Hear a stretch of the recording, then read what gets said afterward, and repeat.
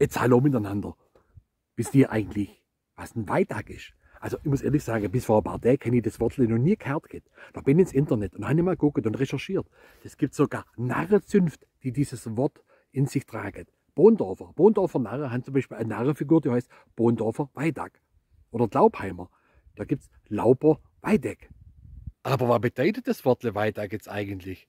Weidag ist eine Bezeichnung für einen Gauner, für ein niedriges Sier, für einen Lump, für einen Taugenichts, für einen Schlamper.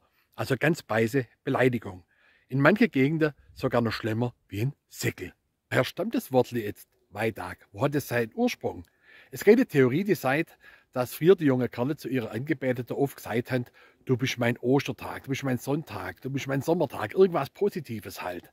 Und dann ist halt das Gegenteil der Wehtag. Und im Schwäbischen sagen wir ja für das Wort Weh Wei, also sagen wir Weitag dazu.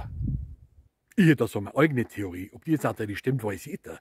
Aber Weitag hört sich ja ähnlich an wie Wertig. Und Wertig ist am Schwäbischen das Wort für Worktag. Und der Metik zum Beispiel ist auch ein Wertig und der Metik mögt vielleicht ja ite. Also wäre ja der Metik ein, ein Wertig, der äh, quasi ein Weitag ist. Aber ja, das weiß ich nicht, ob das stimmt. Ich hoffe, euch hat das Video gefallen. Ihr habt was Neues dazugelernt. Bis zum nächsten Mal. Tschüss und Ade.